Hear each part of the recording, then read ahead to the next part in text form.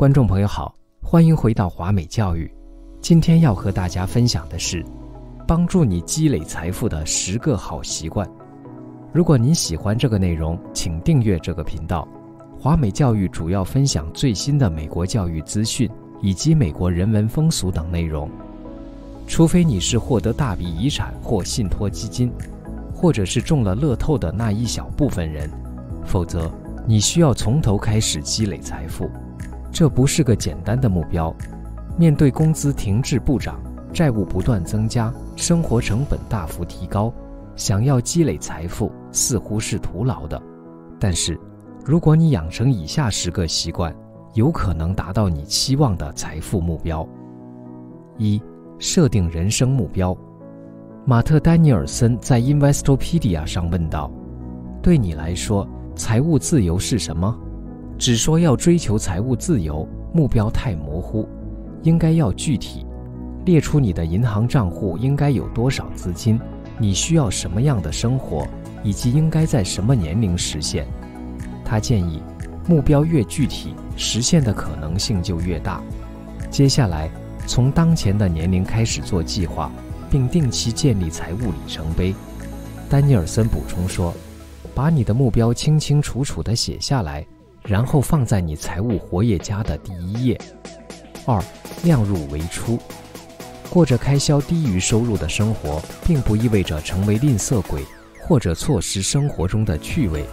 Do 的财务编辑迪安娜里奇解释说：“相反。”它仅仅意味着你每个月的支出少于或等于你的收入，因此你不会信用卡负债累累。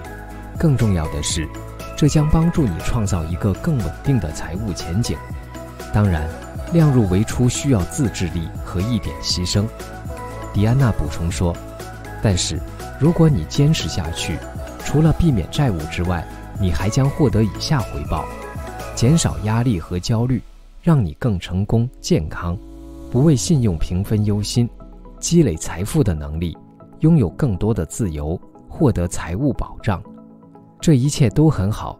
但是，你怎么能在不亏待自己的情况下真正量入为出呢？这里有几个建议：第一，使用五十、三十、二十的规则控制预算，把百分之五十的实得收入用于食品和住房等必需品。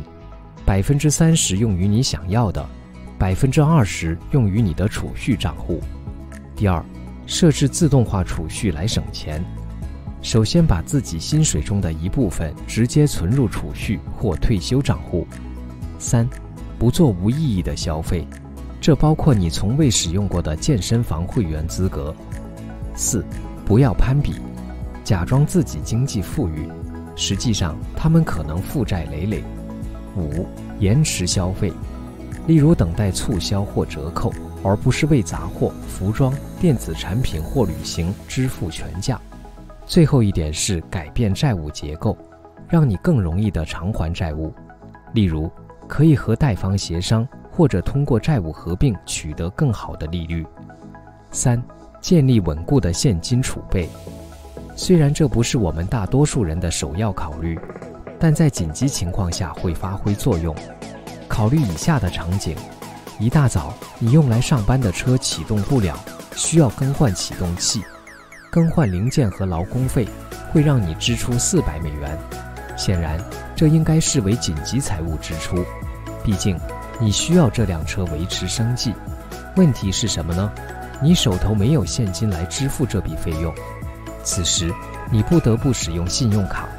这意味着还钱时也必须偿还卡上的高额利息。为这些类型的紧急情况储备现金，可以让你高枕无忧。而且更重要的是，它有助于防止你被债务压垮。理想的情况是，你应该积蓄三到六个月的生活费。不过，不管存多少积蓄，有总比没有好。比如上面花四百美元修车的例子。如果你在应急储蓄中已有三百美元，你只需要用信用卡支付一百美元。四、善用借贷。很多理财专家会建议你完全避免借贷，但是，并不是所有的借贷都是不好的。例如，你打算贷款购买汽车或者房屋，就需要良好的信用。申请信用卡并负责任的使用，可以实现这一目标。你还可以利用借贷来投资教育、购买财产、启动或发展你的业务。什么是滥用借贷？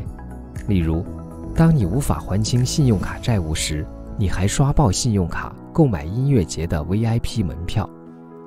五、制定投资计划。在你建立了应急储蓄来处理意外情况之后，就该开始你的投资了。个人理财专家埃里西亚·迪翁说：“有很多很多不同的投资账户选择。你看到的所有不同账户，实际上可以归结为两类：退休和非退休。初入投资时所犯的一个大错误，是认为自己太年轻而不必担心为退休储蓄。”艾里西亚补充说：“但投资和退休计划实际上是齐头并进的。投资是积累财富的工具。”而退休需要财富，是人生中不可避免的阶段。他建议，如果你想有充分的投资经验，你应该开始为短期和长期目标储蓄。退休是储蓄的关键目标，但通常不是唯一的。中短期也有不可避免的开销，投资可以帮助筹集资金。艾里西亚说：“关键是了解最适合你的账户类型，然后。”知道生活会有各种各样的开支，用投资帮助你提供这些资金。退休账户有各种类型，一些最常见的退休账户类型包括 401k 和 IRA，通常这些是雇主会匹配的计划，但还有为企业家和小企业主量身定制的退休计划。在匹配这些退休计划后，你还应该考虑购买年金险，这可以补充你的其他退休账户。同时还提供有保证的终生收入。至于非退休账户，考虑投资股票、债券或交易所交易基金。为了充分准备，你还可以使用机器人投资顾问，他们会为你跑腿。如果你已婚，应该考虑联合经济账户；如果你有孩子，可以考虑五二九计划和 UGMA、UTMA 账户等。更重要的是。你应该拥有多元化的投资组合来降低风险，同时最大限度地提高你的投资回报。六，花钱要精打细算。个人的情况是不一样的，不过购买东西还要物有所值。例如，夏天快到了，你需要一双人字拖，你没有花五十美元买一双像样的，而是从一元店买了一双便宜的。这里不是说一元店不好。是要看那人字拖能否撑过整个夏天，如果不行，你可能要不停地购买更换。更换劣质鞋的成本可能比你从一开始就花五十美元要多。此外，你也不必要花两百美元购买一双人字拖，这有些太过了。你可能因为购买昂贵的品牌而降低生活品质。七，利用雇主福利。如果你是自由职业者，你可以跳过这个；如果不是，请确保仔细检查雇主的福利计划，这样你可以避免错过免费福利。雇主可能提供超出退休计划的福利，这是你应该寻找的福利：退休匹配计划、人寿或残疾保险、健康储蓄账户、员工股票购买计划和法律服务。八、扩展理财知识。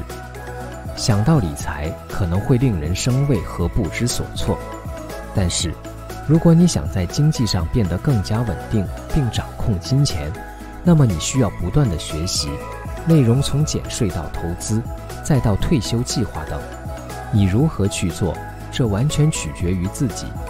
阅读理财书籍，在线关注专家或者参加在线课程，这没问题。你还应该找一个财务顾问。坐下来，好好听听他的建议。九，寻找其他收入来源，拥有几种不同的收入来源可能非常有益。首先，如果你失去了一种收入来源，你可以求助于其他的。另一个好处是，你可以使用额外的现金流来偿还债务，或者把它用于储蓄。我第一个想到的是副业，就是你可以从事自由职业。或者在空余时从事第二份工作，可能是临时的。例如，你想为度假赚一些快钱，但这会消耗你的精力。